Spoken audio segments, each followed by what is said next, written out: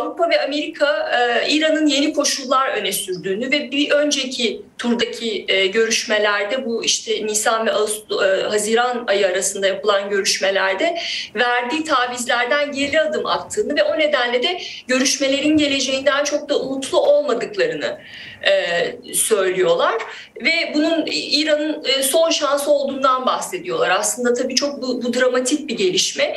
E, Nisan ve Haziran ayları arasında yapılan görüşmeler ki biliyorsun o zaman Ruhani, Hasan Ruhani e, Cumhurbaşkanıydı. Onun döneminde yapılan e, görüşmelerde daha e, ümitliydi taraflar. E, bir metinde anlaşmaya, uzlaşmaya var, varmışlardı e, ve sonuca çok yakın olduklarını söylemişlerdi. E, neydi bu varılan anlaşma? İşte bazı yaptırımların kaldırılması karşılığında İran'ın uranyum zenginleştirme faaliyetlerini e, kısıtlama, e, sınırlamak için adımlar atmasına karar verilmişti.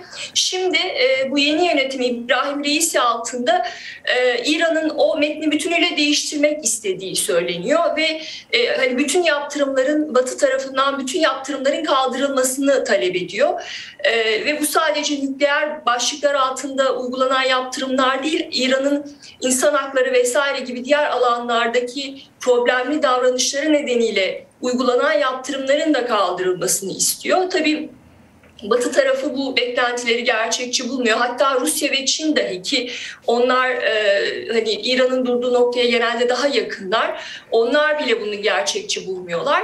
E, ve nihayetinde e, Amerikan tarafının yaptığı bir açıklama var. E, Dışişleri Bakanı, e, Amerikan Dışişleri Bakanı Blinken e, dedi ki e, bütün artık yani biz diplomasiyi tabii öncelemek istiyoruz. Diplomasiyle bu mesele çözülsün istiyoruz ama çözülme, çözülmezse de bütün opsiyonlar masada dedi. Biden yönetimi askeri opsiyondan da bahsetti. Biden e, Pentagon'a e, işte emir verdiğini ve opsiyonların neler olduğu konusunda kendisine bir rapor hazırlamasını e, istediğini söyledi. Bunun içerisinde yaptırımları sıkılaştırmak da var.